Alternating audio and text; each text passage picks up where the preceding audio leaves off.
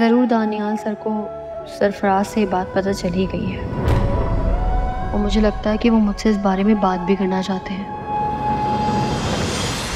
जमाना अलमारी में से पैसे गायब हो गए। खुदा जाने कहाँ चले गए?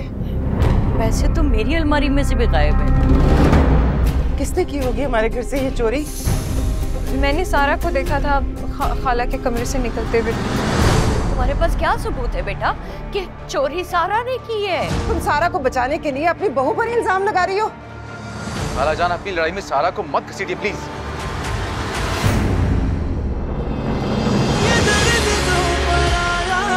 देखिए कलंक। कल रात नौ बजे सिर्फ़ जियो पर।